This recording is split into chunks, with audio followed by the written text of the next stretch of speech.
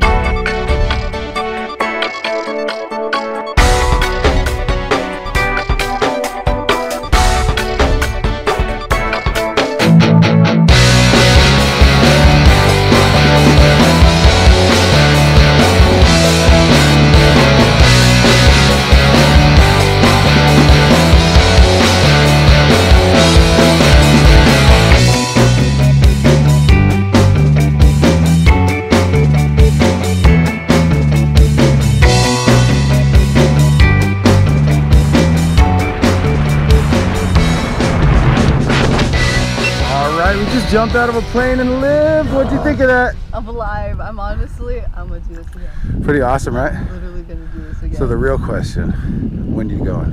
I don't know. I have to wait till he comes down. Nice, all right. we'll see you next time.